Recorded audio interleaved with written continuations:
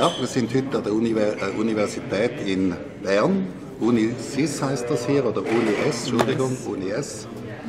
Äh, wir haben heute sehr den Herrn Adrian Wüttrich zu treffen von der SP. Wir haben ihn fragen, wie die Schweiz jetzt Wahlkampf macht für die Nationalratswahlen, die jetzt am 20. also am Sonntag in der Schweiz stattfinden.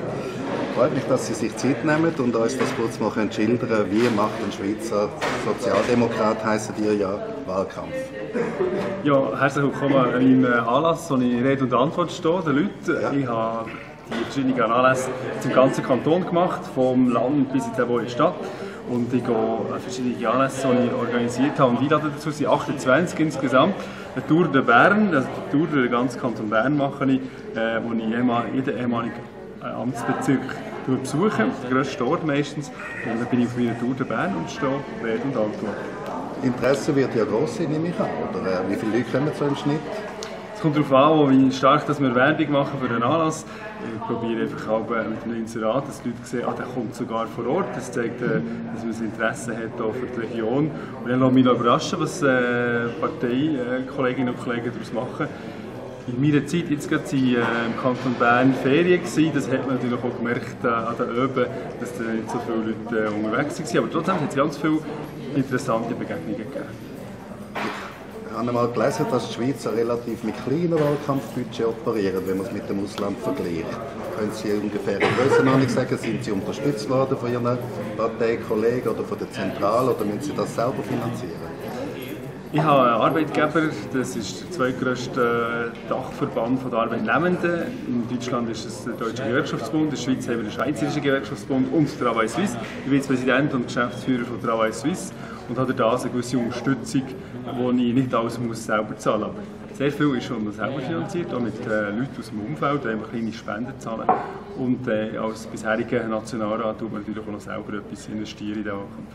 Also ich glaube, die Schweizer sind da sehr kosteneffizient sehr. Also wenn ich sehe, dass ich ganz kleine Traubenzückchen verteile, äh, mit meinem Namen, das ist also nicht etwas, was nicht so teuer ist. Ja. Oder verteile ich ganz kleine ähm, Visitenkärtchen, grosse äh, mhm. Taschenkalender, wo natürlich draufsteht, Adrian Wüttrich zweimal auf die Liste. Äh, und so geht das wunderbar. Kann, das, das kann ich auch euch mitgeben.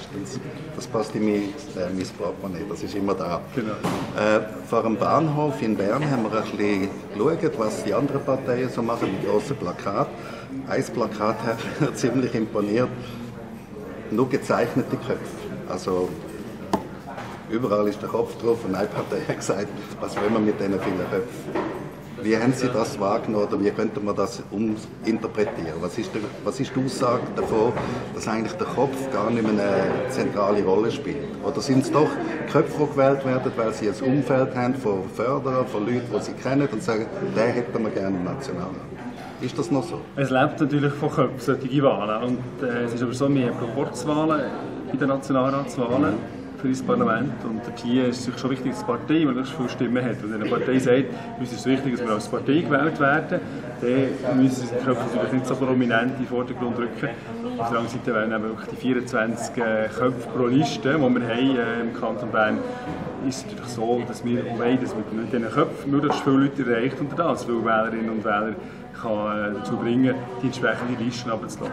Also da muss jede Partei selber wissen, wie sie das machen will. Dann haben wir ja immer bei dem Proporzverfahren, dass eigentlich pro Partei Anzahl Stimmen nur die ersten x Listenplätze dann natürlich eine Chance haben, in den Nationalrat zu kommen. Wie nimmt ein, ein äh, Sie sind sehr wahrscheinlich ein bisschen im oberen Drittel und haben eine Chance, in Nationalrat zu kommen. Wie nehmen das Ihre anderen Listenmitstreiter wahr, die dann sagen, ja, ich bin ja nur auf der letzten Listenlinie und habe sowieso keine Chance?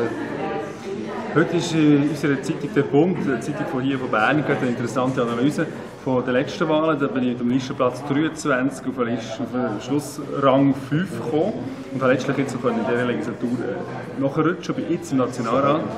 Weil meine Partei jetzt die bisherigen Nationalratsmitglieder äh, die ersten Listenplätze tun, bin ich jetzt mit W wie Wüttrich an dritter Stelle in diesem Rennen und äh, hoffe, dass natürlich auch zu bleiben nach den Wahlen und hoffentlich können so gewählt zu werden. Aber es ist im Kanton Bern nicht so relevant, wo man ist, äh, auf dem äh, Listenplatz. Es gibt nicht so Erhebungen, wo man kann sagen, es ist so entscheidend wie beispielsweise im Kanton Zürich. Das ist Sehr gut.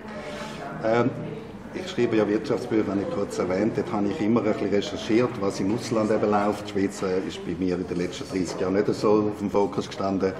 Äh, ein deutscher Bundeskanzler, der Gerhard Schröder, hat einmal erzählt, den Satz, äh, Deutschland sei so hoch verschuldet, es ist nicht regierbar. Was schließen Sie aus so einem Satz? Ich möchte jetzt Deutschland äh, nicht qualifizieren, aber in der Schweiz haben wir natürlich mit dem System der Schuldenbremse etwas Institutionelles, das uns dann hindert, als Politikerinnen und Politiker zu viel Geld auszugeben. Und entsprechend äh, können wir, kann die Schweiz gar nicht mit Schulden äh, reinrutschen eigentlich und wir können äh, weniger äh, Geld ausgeben, als es bisher gegangen ist. Äh, die Aussage von Herrn Schröder habe ich damals so gedeutet, äh, wenn ein Land hoch verschuldet ist, regiert nicht mehr Politik, sondern das Geld. Und das sind ja Banken. Haben wir da in der Schweiz ein bessere Voraussetzungen? Das heisst, das Modell Schweiz, um Exportschlager zu machen, wäre ja bei den Schuldenbremsen eine geeignete äh, Grössenordnung. Die Schuldenbremse ist natürlich äh, auch sehr ein Instrument, das einem einschränkt, das als Staat natürlich nicht möglich, äh, ermöglicht, grosse Investitionen zu tätigen. Also wenn ein Staat größere Infrastrukturprojekte muss finanzieren äh, oder ähnliche Finanzierungsnotwendigkeiten hat, ist es schwieriger, das zu machen mit einer Schuldenbremse. Aber ähm, ich kann das natürlich anwenden, um die Politik äh, ein bisschen zu dämpfen im Geld ausgeben. Und es tut immer daran, ähm, dann ähm, hindern, mehr Geld auszugeben.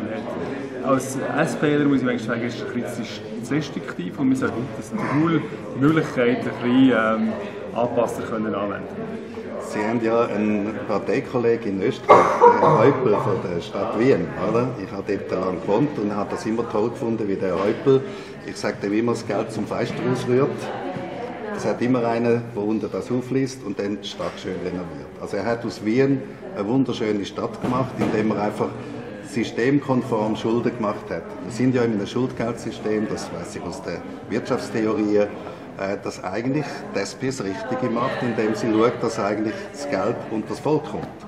Ist das in der Schweiz kein Thema?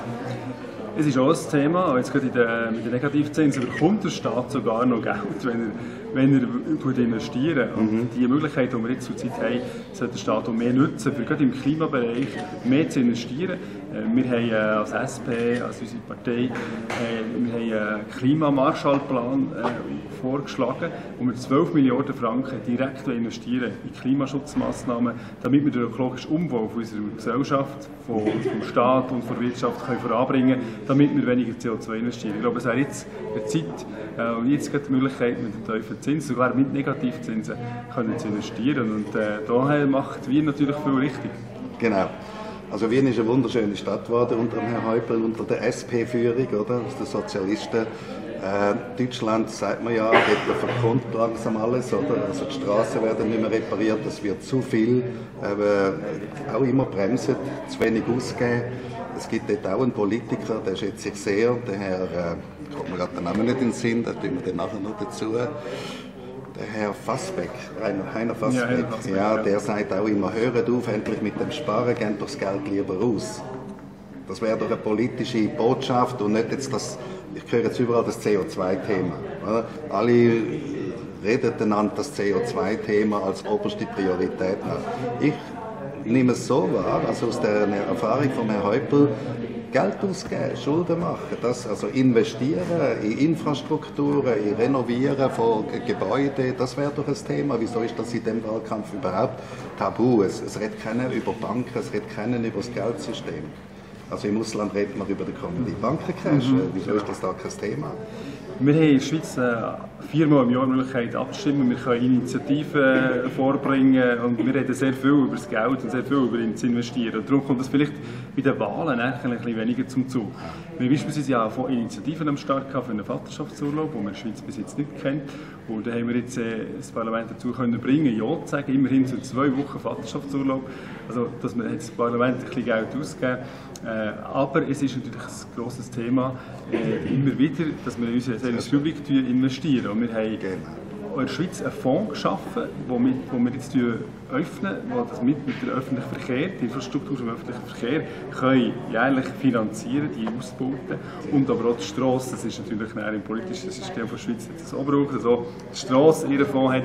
Und so tut die Schweiz regelmäßig, weil sie die Fonds öffnen, tut sie investieren. Und ich glaube, das, das macht die Schweiz so sehr viel für unsere Infrastrukturen, aber es bräuchte natürlich äh, gerade eben im Klimaschutzbereich noch mehr. Also das Klimaschutzthema ist in aller Munde. Also ich habe das an einer anderen Veranstaltung von allen Parteien deckungsgleich wahrgenommen. Dort sind sie sich alle einig. Und äh, schon im Parlament hat es doch aber eine gewisse Gruppe, die das noch ein bisschen als äh, Nebenschauplatz ein bisschen auf die Seite schieben Ich glaube, die SVP ist da nicht so der ganze Meinung. Hat jetzt die SVP mehr Wissenschaftler, die können nachweisen dass das CO2-Thema nicht so relevant ist für den menschengemachten Klimawandel? Es finden auch immer ihre Experten, wenn sie sie suchen und entsprechend auch fragen. Aber ich glaube, wenn man sieht, was man weltweit jetzt für Anstrengungen macht für das Klima, schon beim Pariser Klimaabkommen, wo alle Staaten dann gesagt haben, jawohl, es ist eine Priorität, wir müssen weltweit dazu schauen, dass äh, die Erderwärmung nicht höher wird. Äh, haben sich alle Staaten verpflichtet. Gut, Amerika ist jetzt äh, zur Zeit ein bisschen ausgestiegen. Und dort haben sich alle Staaten der Welt in das Klimaziel gestellt. Und jetzt so mit dem, mit dem äh, Weltklimarat, mit IPCC, wo regelmäßig sehr viel wissenschaftliche, äh, wissenschaftliches Fleisch und Inhalte bringt, und man sieht, das ist wirklich ein Thema, wir müssen es jetzt alle realisieren. Es gibt immer noch Leute in der Schweiz, die das abstreiten, dass es einen Zusammenhang gibt zwischen menschlichem Verhalten und dem Klima. Die kann man leider nicht, ähm, nicht ähm, ganz überzeugen, aber es ist ja ein Fakt. Die Mehrheit der Wissenschaften übrigens die drückende Mehrheit der Wissenschaften. Ich glaube, in Zukunft wird es weisen, ob das Klima jetzt vom Mensch gemacht ist oder von der Natur oder von der Sonne. Bleiben wir mal beim Thema Banken. Die Schweiz ist ja der Bankenplatz schlechthin, oder? Und äh, unsere zentrale Frage ist, kann man die Schweiz mit ihrem Bankensystem als Modell für den Rest der Welt einmal irgendwo proklamieren? Äh, jetzt, wo zwar alle vom kommenden Bankencrash reden, ja, nächstes Jahr, Sie kennen da in Deutschland gibt es sehr viele Schwarzmaler, Negativpropheten, äh, ist das in der Schweiz kein Thema? Bankenrettung oder Bankenkrise? Das war ein grosses Thema ja. in der Schweiz. Wir haben 2008 haben wir die zwei grossen Banken, die UBS, die grosse Bank, 60 UBS müssen mit 60 Milliarden ja. Steuergelder müssen retten. Mhm. Also dort hat plötzlich müssen Politik eingreifen, der Staat hat müssen einer grossen Bank zu Hilfe eilen, wie es so vielen ist gegangen, Banken. Und dort haben wir äh, aufgrund von dieser Krise in der Schweiz gelernt, wir haben äh, entsprechende Vorschriften gemacht, Regulierungen verschärft, dass Banken mehr Eigenmittel müssen haben, damit sie möglichst nicht mehr in die äh, Problemzone hineinschlittern. Mhm. Wir leben zurzeit so in einer wirtschaftlich, volkswirtschaftlich äh, einmaligen Situation mit den Negativzinsen, mit der Situation, wo sehr viele Staaten Schulden gemacht haben, wo jetzt Banken auch aufs Äußerste gefordert sind.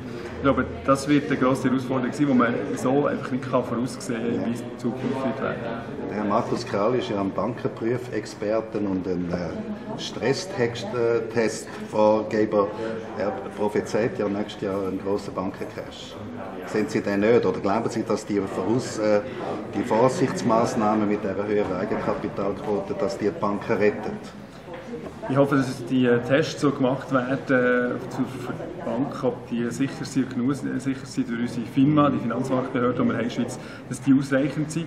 Mhm. aufgrund von der Finanzkrise dann hat man die FINMA in der Schweiz auch höher dotiert und die haben äh, auch mehr Mitarbeitende bekommen und werden entsprechend auch die wir strenger her schauen. Und ich weiss von Leuten, die mir immer sagen, die Regulierungen sind jetzt stark von FINMA macht, aber ich glaube, es ist wichtig, dass hier der Staat her schaut und äh, den Finger drauf hat, damit die Banken äh, mit unseren Sparnis äh, also, richtig her schauen, weil sie eben im Schweizer System Moment sind. Also wenn es eine solche Grossbank etwas gibt, dann haben wir ein Problem.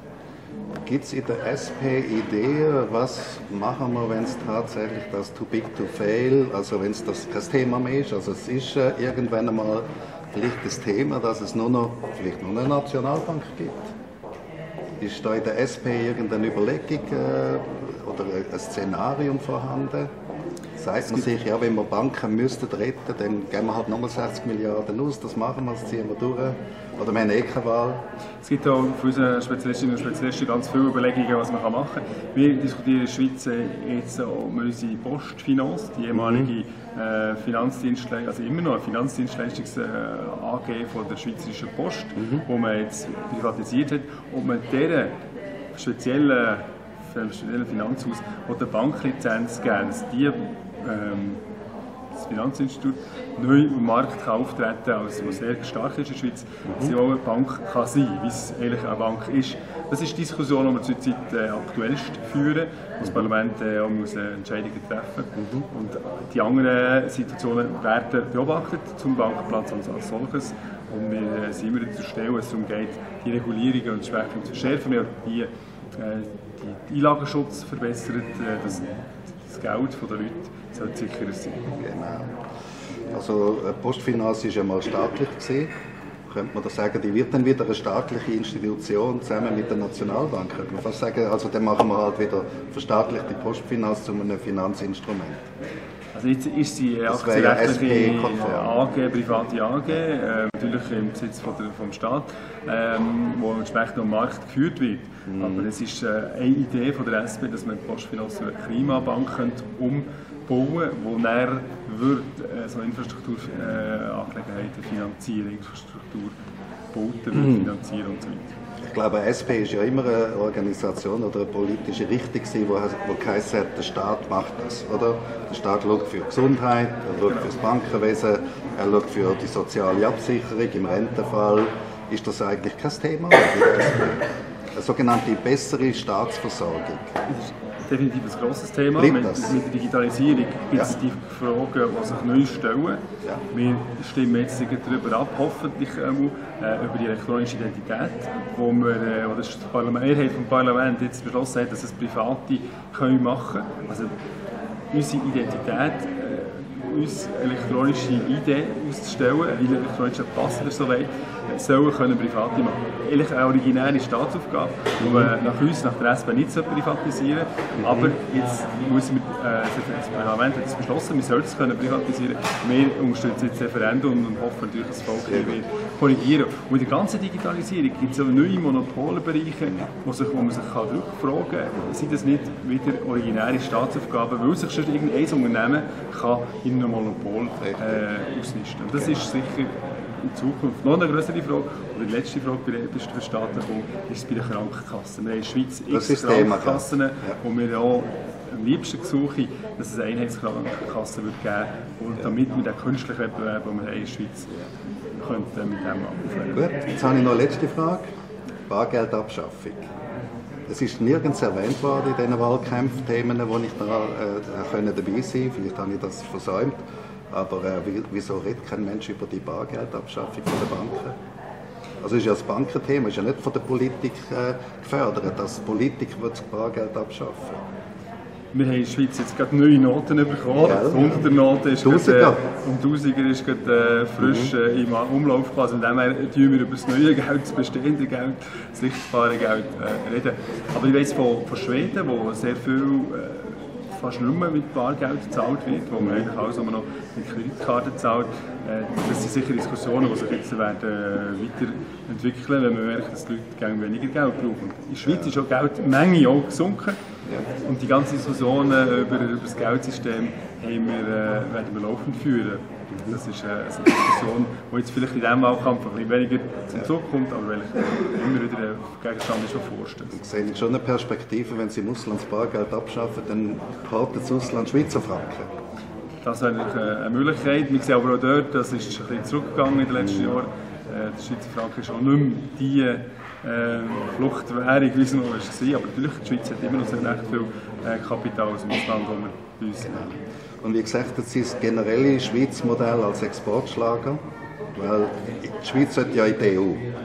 Ähm, es gibt Leute, die sagen, kommen ja nicht in die EU, wir würden lieber in die Schweiz kommen. Das wäre doch eine Perspektive. Das wäre natürlich eine Perspektive, aber ich glaube, es kann sich nur, es kann sich nur ein kleiner Staat wie die Schweiz kann sich das äh, rausnehmen, was sich die Schweiz rausgenommen hat und die, äh, das System, so, wenn ich auch so kann sagen kann, ermöglichen mit unseren Handelsverträgen in alle Richtungen, die wir haben, wo wir äh, versuchen, den Handel zu befördern zugunsten der Schweizer Wirtschaft, die ja äh, auf Export angewiesen ist. Jeder zweite Franken verdienen wir im Ausland und folgen sehr viele Arbeitsplätze mit dem verbunden. Also ich glaube, für die Schweiz geht das, weil wir eine kleine, weltoffene äh, Volkswirtschaft sind, aber für größere Länder oder für den Bund wäre es natürlich ein bisschen schwierig. Sehr schön. Herr Wüttrich, besten Dank. Ich wünsche noch viel Erfolg. Merci. Und Ihr Nationalratssitz, könnte ich mir vorstellen, ist sicher noch gesichert. Ich hoffe es. Merci vielmals. Danke. Danke.